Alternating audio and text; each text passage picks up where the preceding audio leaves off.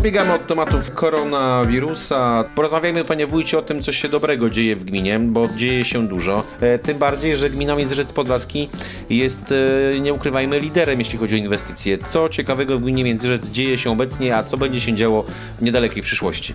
Dziękuję za te słowa. Staramy się sprostać wymaganiom które stoją przed nami i które zakreślają nam nasi mieszkańcy. Oczywiście ta sytuacja w pewien sposób rzutuje na e, funkcjonowanie referatu inwestycyjnego. Jeżeli chodzi o rok 2020, to mamy kilka priorytetowych zadań i kilka priorytetowych planów. Zaczniemy od niedawno podpisanej umowy na przebudowę stacji uzdatniania wody w Rogoźnicy. W ramach tego jednego przetargu będziemy realizować dwa zadania z dofinansowaniem unijnym. Jedna jest to przebudowa stacji uzdatniania wody w Rogoźnicy, drugi monitoring sieci wodociągowej oraz podniesienie jakości infrastruktury wodnej w gminie Międzyrzec Podlaski. Ten drugi projekt będziemy realizować w tym i dwóch e, najbliższych e, latach. Na dzisiaj w związku z zaistniałą sytuacją epidemiologiczną i apelem władz władz województwa, władz rządowych Niektóre prace związane z przebudową stacji uzdatniania wody zostaną częściowo wstrzymane. Projekt ten to ponad 2 miliony 100 tysięcy złotych, półtora miliona dofinansowania. W ramach tego projektu zmodernizujemy kompleksowo stację uzdatniania wody w Rogozicy. Przypomnijmy, ta stacja ma już kilkadziesiąt lat y, y, i od tamtej pory praktycznie nie była modernizowana. Mhm. W ramach ramach monitoringu sieci wodociągowej chcemy zmonitorować całą sieć wodociągową i dostosować ją do naszych potrzeb.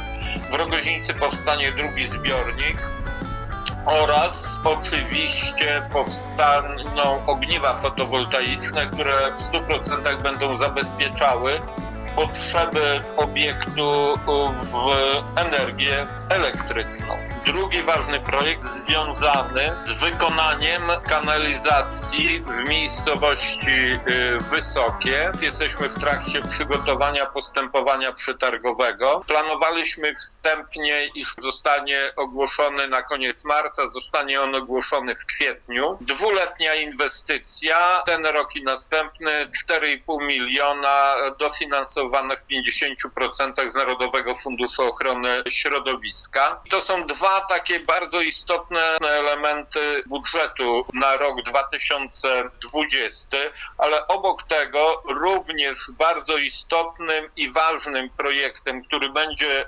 realizowany w tym roku, to wsparcie do wymiany źródeł ciepła w indywidualnych domach jednorodzinnych. Jest to związane oczywiście z wsparciem naszych mieszkańców, z wymianą tradycyjnych źródeł ciepła na źródła ekologiczne. Mam tutaj na myśli piece na pelet i piece na gaz. Mhm. E, ten projekt będzie realizowany w dwóch etapach. Pierwszy etap w tym roku, w kwietniu również równolegle zostanie ogłoszony przetarg na realizację pierwszej części przedsięwzięcia. Drugi projekt zostanie ogłoszony przetarg w drugiej połowie 2020 roku, realizacja pełna na rok 2020-2021. Obok tych prac trwają prace związane z termomodernizacją budynków użyteczności publicznej na terenie gminy Międzyrzec Podlaski. Ja przypominam, że w ramach tego, tych projektów gmina Międzyrzec Podlaski realizuje dzisiaj trzy projekty termomodernizacyjne. Jedno to jest termomodernizacja budynków użyteczności publicznej. Objęte tym projektem były szkoły w Tłuszczu i w Rogoźnicy prace właśnie trwają. Drugie to jest kontynuacja termomodernizacji objęte pozostałe szkoły. Trwają właśnie prace e, w szkole podstawowej w Rudnikach. E, no i, i trzeci projekt to jest e, poprawa efektywności energetycznych szkół na terenie gminy Międzyrzec Podlaski. Pozostałe szkoły zostaną stermomodernizowane. W tym roku oprócz wymienionych szkół również będą toczyły się prace na terenie szkoły podstawowej w Rzeczycy. Liczymy się, że umowy podpiszemy z końcem maja na realizację tego przedsięwzięcia. Między innymi jest tam e, mowa o wymianie oświetlenia na oświetlenie LED, na rekuperację zgodnie z zaleceniami Senepidu w trzech salach na poddaszu, czyli sprostamy wszystkim wymaganiom, o których mówiliśmy. No ale przecież e, równie bardzo ważne inwestycje to, proszę Państwa, drogi. drogi. W budżecie na ten rok mamy wpisane kilka dróg e, do realizacji na terenie gminy Międzyrzec Podlaski. Pierwsza już właśnie toczy się, jest to przebudowa drogi gminnej w miejscowości Sitno ponad pół miliona e, e, złotych na realizację tego przedsięwzięcia, dofinansowane również ze środków krajowych, z Funduszu Dróg Samorządowych. W drugiej połowie roku chcemy zrealizować e, przebudowę drogi kolejowej w miejscowości Rzeczyca, zgodnie z naszymi obietnicami związanymi z realizacją kanalizacji w tej miejscowości. Po zakończeniu prac kanalizacyjnych związanych z budową kanalizacji przystępują do remontów i budowy dróg. W pierwszej kolejności idzie e, e, ulica kolejowa. W budżecie na rok 2020 są zabezpieczone środki na ten cel. Kilka projektów już dzisiaj opracowujemy e, z myślą o następnej perspektywie. Ważnym elementem jest tutaj również współpraca z powiatem bialskim. Wspólnie realizujemy przebudowę drogi powiatowej numer 1100 119 Sitno-Szachy. E, gmina Międzyrzec Podlaski przeznacza na ten cel 774 tysiące złotych w porozumieniu z powiatem. E, ta przebudowa jest dofinansowana również ze środków zewnętrznych mhm. oraz e, udzieliliśmy dotacji celowej powiatowi bialskiemu na opracowanie projektu przebudowy dróg numer 1006L jest to droga Korzuszki-Krzywica i 1107L, droga powiatowa Pruchenki-Korzuszki. Udzieliliśmy również dotacji celowej powiatowi bielskiemu na opracowanie dokumentacji związanej z przebudową dróg na odcinku zasiadki zaścianki.